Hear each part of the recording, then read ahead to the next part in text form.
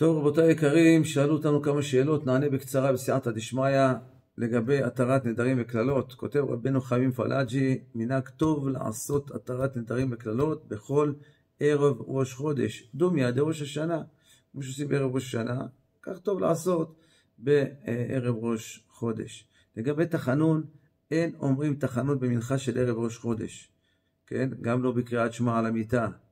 הוא הדין כשחל ראש חודש במוצאי שבת, מי שיודע, אין אומרים צדקתך בתפילה מנחה של שבת שלפניו, נכון? אז, אז זה הדרך.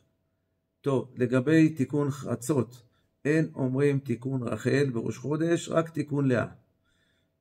בסדר? כמו כל הימים שאין אומרים שם תחנון, עושים רק תיקון לאה.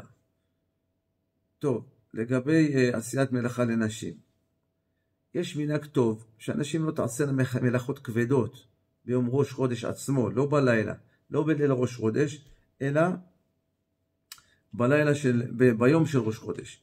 אוקיי, כתוב שמנהג טוב שנשים לא תעשינה מלאכות כבדות ביום ראש חודש, יש להם מצווה ושכר טוב על זה.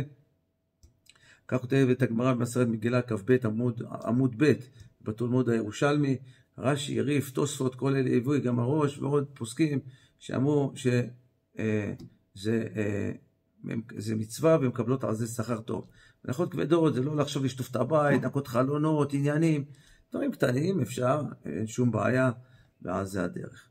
כמובן, לעבודה אפשר ללכת, אין שום בעיה, ואז זה הדרך. אני מזכיר, זה רק ביום של ראש חודש, ולא בליל ראש חודש. בליל ראש חודש מותר, למה?